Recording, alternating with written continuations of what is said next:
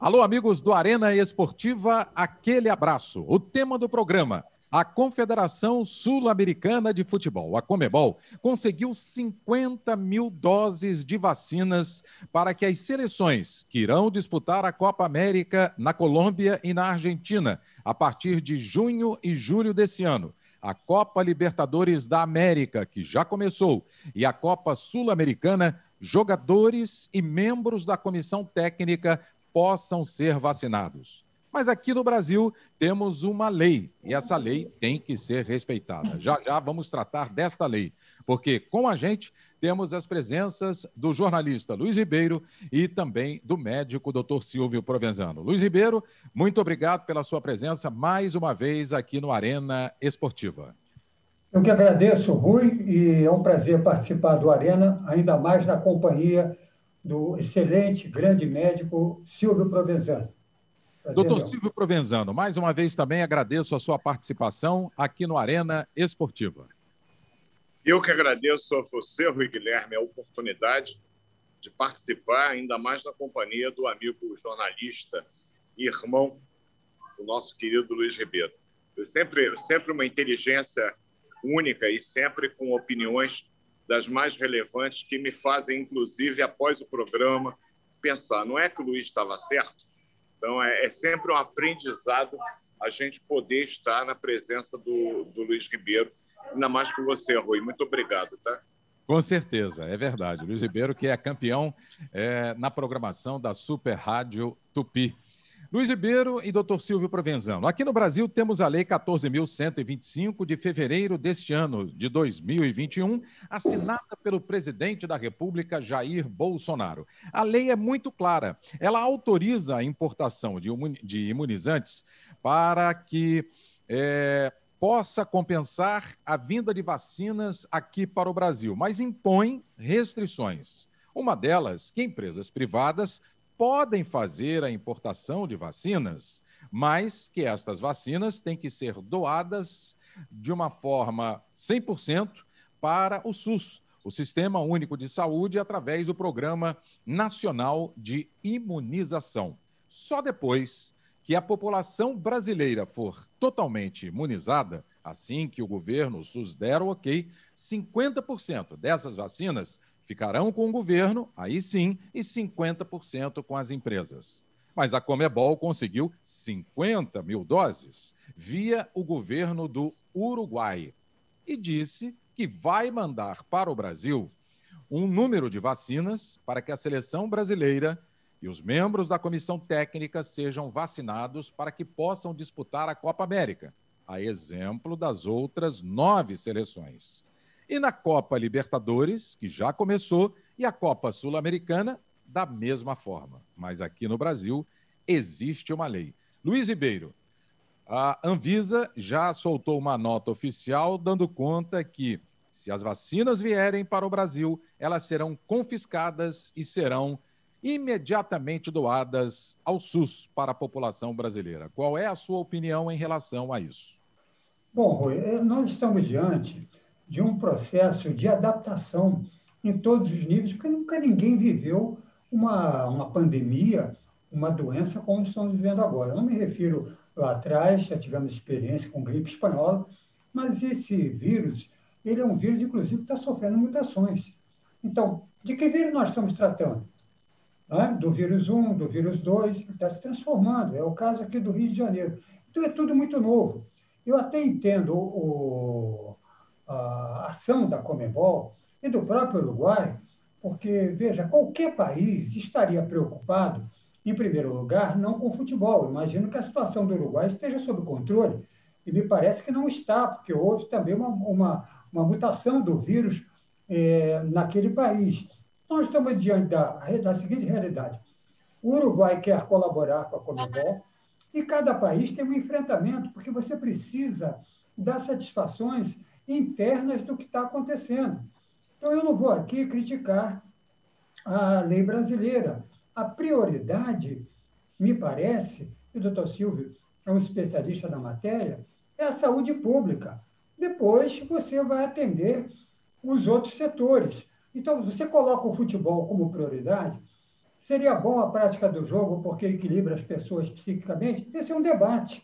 Mas no momento em que você não tem o controle ainda da doença por conta das mutações, me parece que a posição da Anvisa, ao dizer que vai confiscar, eu diria que é melhor abrir para o debate, porque cada governo tem que dar satisfação à sua população individualmente. E o futebol é uma coisa global. No caso da Comebol, são disputas internas. Então, reconheço o esforço da Comebol em manter o jogo com segurança, mas reconheço também as posições dos países em dizer, primeiro a população, o futebol fica em segundo plano. Vamos ver como é que vamos encaminhar essa matéria. Doutor Silvio, como médico, pessoa atuante, ex-presidente do CREMERGE, aqui do Conselho Regional de Medicina do Estado do Rio de Janeiro, torcedor que é também do Fluminense e, claro, da nossa seleção brasileira. Mas eu digo como profissional da saúde. É, qual é o seu entendimento? Temos uma lei, a lei assinada pelo presidente da República, 14.125, de fevereiro desse ano, uma lei que tem que ser cumprida, uma lei que foi debatida na Câmara, no Senado, no Congresso Nacional. E essa lei foi aprovada. Primeiramente, a população brasileira. Nada impede que as empresas importem vacinas mas que todas elas sejam, aquelas importadas por empresas, sejam utilizadas primeiro na população e depois, aí sim, as empresas poderão imunizar os seus trabalhadores, aqueles que não tenham conseguido ser imunizados. Qual é a sua opinião em relação a este caso da Comebol? Bom, em primeiro lugar, se a Comebol entende que os jogadores e os membros das devidas comissões técnicas de todas as seleções e equipes que vão participar da Libertadores, ela deveria vacinar na sede da Comembol, onde ela realmente é dona do pedaço. Aqui no Brasil, nós temos que seguir as leis brasileiras. Você deu até o número da lei agora, de dois meses, até um pouco tardiamente, né? Mas, enfim, as vacinas também demoraram. As vacinas também demoraram um pouco a chegar. E nós que temos infelizmente, divergindo muito do presidente da República, eu estou contente, estamos absolutamente de acordo nesse ponto. Eu acho que, em primeiro lugar, a população como um todo. Chegou vacina, e vacina está faltando no mundo inteiro. Eu venho conversando há muito tempo de pessoas que moram em países da Europa, inclusive parentes da minha família, com quem eu tenho um contato estreito, e aqui no Brasil, a minha irmã, que não é médica, não é grupo de risco, eu fui vacinado, como você pode ver, eu estou aqui no Hospital de Servidores do Estado, atendendo Covid. Então, eu tive que me vacinar, porque o seu amigo aqui, já com a carteira de identidade amarelada, o mais idoso dos três no programa, eu não poderia atender esses pacientes sem ter a vacina. Eu fui vacinado, então eu não conto. Mas a minha irmã, ela vai se vacinar hoje, graças a Deus e primos da mesma faixa etária dela, até um pouco mais idosos, com dois, três anos de diferença, ainda não foram em Roma. Então você vê que, apesar das dificuldades, se temos uma população que é mais do que o dobro da Itália, estamos vacinando com maior rapidez aqui. Mas privilegiamos, desde o começo, os grupos que eram de risco para a Covid. Os mais idosos, estabelecemos um critério absolutamente racional procurando fazer agendamento e horários escalonados para tentar, na medida do possível, evitar aglomerações no momento de vacinar. Piada antiga de português, eu me contaminei pelo Covid porque eu fui me vacinar. Então, evidentemente, evitar que as pessoas fiquem aglomeradas, basta as cenas catastróficas que a gente presencialmente todo dia vê no, no metrô, no BRT, nos trens da central, as pessoas todas juntas e misturadas e eu estou rigorosamente convencido que essas aglomerações nos pontos de transporte público são a principal causa do grande número de infectados no nosso país, em especial na nossa cidade aqui no Rio de Janeiro. De qualquer forma, Rui, eu entendo que se existe uma lei, cumpra-se, doa a quem doer. Qual será a reação da Confederação Sul-Americana de Futebol, a nossa Comembol? Não faço a menor ideia, mas ela indo num país ela, como qualquer cidadão, como qualquer indivíduo, é muito bem-vinda, desde que cumpra as regras do país.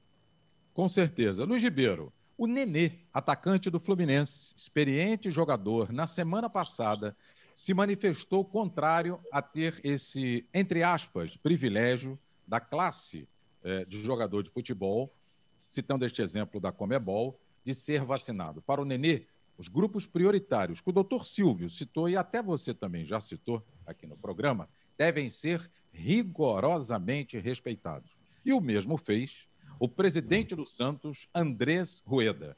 Ele disse o seguinte: não é porque eu sou apenas presidente do Santos que eu tenho que ter esse privilégio. Não. Nós temos que respeitar o plano de imunização no nosso país. É, como é que você encara essas duas figuras, que são figuras públicas, principalmente o Nenê, muito mais conhecido por ser um atleta, e até do presidente do Santos, Andrés Ruedas, que se mostraram contrário é, a ter esse privilégio? Olha, eu vejo momentos de ambos de lucidez. Mas é bom a gente destacar que nesse meio do futebol, como nós estamos diante de uma novidade, não é a Comembol, é a FIFA. A FIFA acha que o jogo ele está fora do controle dos países. Isso de uma maneira geral. É o pensamento do futebol. Então, não aceito interferência. Eu acho que nós não estamos discutindo é, soberania, diz a FIFA, mas as nossas regras são universais. A Comebol, ela reflete o pensamento da FIFA. E se você atravessar a espinha do futebol, isso vai bater em qualquer federação. Nesse sentido, aqui a CBF também se manifestou nesse sentido. O futebol não pode parar. Quer dizer, eles afirmam que o circo tem que continuar, independente da pandemia. Só que nós estamos, repito na minha fala inicial, diante de um processo absolutamente novo e perturbador. Me parece que o futebol tem que ceder a esse momento que nós estamos vivendo. Eu acho que as duas manifestações são importantes e acho que teremos mais. O jogador de futebol geralmente não opina é, sobre essa matéria, e dirigentes também. Mas, diante desse fato que nós estamos gravoso enfrentando, acho que outras correntes devem se manifestar nessa linha, Rui. E, doutor Silvio, qual é a sua opinião? Nós estamos quase em cima do laço dessa primeira parte aqui do, do Arena. Então, veja bem, Rui Guilherme, a minha admiração pelo Nenê, que apesar da faixa etária, em termos de futebol, eu diria que ele é grupo de risco, beirando o Zenta do 40, ele tem tido atuações fantásticas, mas quem entende mais disso é o Luiz Ribeiro. Agora, o meu orgulho de ver que é um jogador do meu clube, um destaque, tem um pensamento, eu diria que politicamente tão correto. E parabéns ao presidente do Santos. Eu acho que o argumento é exatamente esse. O fato de eu ter sido colocado como presidente do Santos não me torna melhor nem pior do que ninguém. Não vou me vacinar na frente de pessoas que devem se vacinar. Eu acho que ele está corretíssimo. Parabéns, Nenê. Minha admiração por você, que já era grande, ficou imensa. É, e agora é aguardar como vai ficar essa situação, porque a CBF insiste em que uh, o grupo da seleção brasileira, né, que a seleção que vai disputar a Copa América na Colômbia e na Argentina entre junho e julho, entre o dia 10 de junho e dia 13 de julho, esse grupo seja vacinado, atletas e membros da comissão técnica. E também luta para que os clubes brasileiros, na disputa da Copa Libertadores da América e da Copa Sul-Americana, também possam ser vacinados. Só que existe a Lei 14.125 de 2021, assinada em fevereiro pelo presidente da República, Jair Bolsonaro, que é muito clara. Ela permite que as empresas possam importar vacinas para ajudar o Programa Nacional de Imunização mas, enquanto a população brasileira não for vacinada, essas vacinas têm que ser doadas para o SUS. Depois, 50% para o governo, quando toda a população for vacinada, o governo assim entender, e aí sim 50% para as empresas. Já já, nós vamos voltar na segunda parte do Arena Esportiva, tratando do assunto vacinas, o futebol e, claro, aquilo que mais interessa ao torcedor, a imunização contra o coronavírus. Já já, no Arena Esportiva.